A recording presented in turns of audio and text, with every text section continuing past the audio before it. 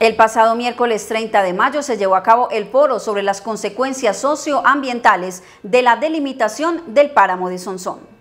Este escenario de participación ciudadana tuvo como eje central la reflexión sobre este tema desde varios aspectos, áreas protegidas, agroindustria y centrales hidroeléctricas. Cuando usted decide conservar la riqueza natural, pues tiene implicaciones para las actividades productivas de los campesinos. Entonces, eh, digamos, este foro tiene esa preocupación y yo haría un llamado desde Conciudadanía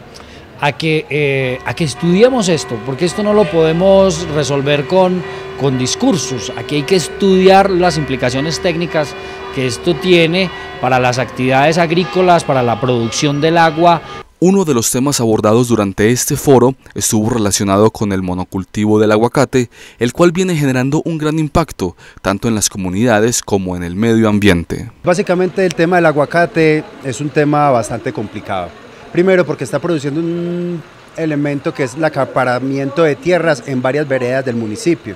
ese acaparamiento de tierra está generando que las formas de producción campesinas se vean desplazadas de esas veredas y todos empiecen a ser trabajadores asalariados de esas empresas aguacateras. Otro elemento fundamental es el tema de uso de agrotóxicos y agroquímicos para el cultivo del aguacate, lo que está afectando nacimientos y además el tema de la infiltración. Los químicos y todo esto al llegar al suelo se infiltran y van de todas maneras a las corrientes de agua. Nuestros abuelos nos dejaron un paisaje espectacular, aguas, bosques,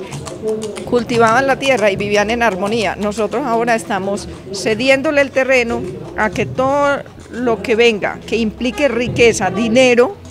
sea bienvenido y todo lo que implique el apoyo a las comunidades rurales sea desplazado. Otro de los temas que concentra un gran interés en este tipo de encuentros es el relacionado con los proyectos hidroeléctricos. Lo que está pasando hoy en Ituango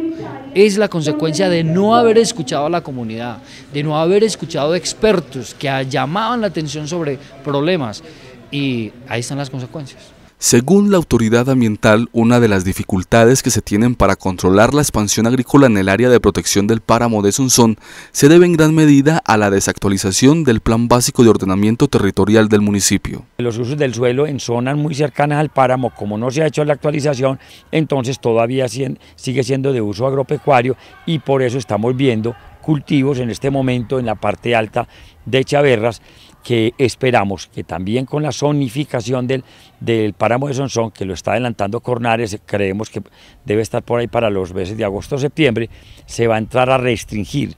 el, las cotas o la altura para el, uso agropecuario, eh, haciendo uso pues, de esta herramienta de, ordenamiento para eh, controlar un poco, un poco esa expansión o esa ampliación de la frontera agrícola en zonas de protección como es el páramo de Sonsón. El director de la Regional Páramo de Cornare también se refirió a la expedición de licencias ambientales para proyectos hidroeléctricos en esta zona. La autoridad ambiental, cualquiera que sea, no puede ordenar o restringir que ingresen eh, solicitudes de estudios. Otra cosa diferente es que se otorguen las licencias ambientales o los permisos para llevar a cabo estos proyectos. Hasta en este momento, para tranquilidad de la comunidad en general, no hay una sola licencia para PCH ni hidroeléctricas, ningún proyecto hidroenergético, tanto en, en, los Río Verdes como en general en la zona de, de la jurisdicción de la zona Páramo.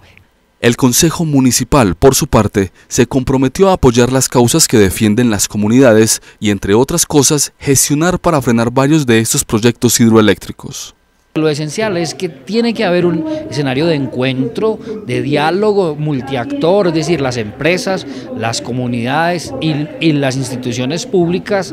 y en ese diálogo tomar las mejores decisiones.